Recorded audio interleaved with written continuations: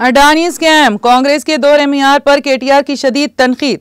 गली में दोस्ती, दहली में कुश्ती, क्या मायने रखती हैं? राहुल गांधी वजाहत करें। कारगुजार सदर बीआरएस ने असम्बली सिर सल्ला के तारक रामाराव ने रियासती और कौमी सतह पर अडानी के मसले पर कांग्रेस के दोहरे मीयार पर इस्तफसार किया। कांग्रेस हाईकमान ने अडानी और सेबी की चेयरपर्सन के दरमियान सासबाज से मुतालिक हिंडनबर्ग रिपोर्ट की मुश्तरका पार्लिमानी कमेटी, जेबीसी के ज़रिए तहकीकत का मुतालबा करते हुए मुल्क गिर एहतजाज मुनजम किया है। तो दूसरी तरफ़, chief minister Telangana A. Revanth Reddy Telangana में अडानी की कंपनी की सरमाकारी के लिए सुर्ख खालीन बिछा रहे हैं। केटीआर ने कहा कि एक तरफ़ दहली कांग्रेस ने अडानी की कंपनियों पर वज़ीर आज़म मोदी की पॉकेट कंपनियाँ होने का इल्ज़ाम किया है तो दूसरी तरफ़ तेलंगाना के चीफ मिनिस्टर रेवंत रेड्डी ने इसी अडानी ग्रुप के साथ माहिदा किया है। केटीआर ने सोशल मीडिया प्लेटफॉर्म एक्स पर पोस्ट किया कि गली में दोस्ती, दहली में कुश्ती यही है। कांग्रेस, क्या बराए, मेहरबानी। राहुल गांधी जी, आप इस बात की वजाहत करेंगे? कारगुजार सदर बीआरएस ने रेवंत रेड्डी और तेलंगाना के दीगर कांग्रेस कायदीन की तरफ़ से अडानी के खिलाफ एहतजाज को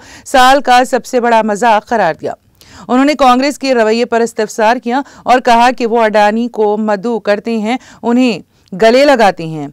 याददाश्त मुफाहमत पर दस्तखत करते हैं, मराद पेश करते हैं और उन्हें पैसा कमाने देते हैं और फिर आप एहतजाज करते हुए धोखाधही का इल्ज़ाम किस तरह आयद कर सकते हैं? केटिया ने एहसास ज़ाहिर किया कि कांग्रेस के कायदीन ये सोच और वहम का शिकार हैं कि वो इस तरह के हरबों के ज़रिए हिंदुस्तान को बेवकूफ़ बना सकते हैं। उन्होंने अडानी की कंपनी पर धोखाधही का इल्ज़ाम आयद करते हुए अडानी को मराद फराहम करने की कांग्रेस की मंतक पर इस्तफसार किया। उन्होंने कांग्रेस लीडर राहुल गांधी को रास्त तौर पर तनकीद का निशाना बनाया और इस्तफसार किया कि क्या पार्टी को इस बात का यकीन है कि वो इस तरह के ड्रामों के ज़रिए मुल्क को धोखा दे सकती है।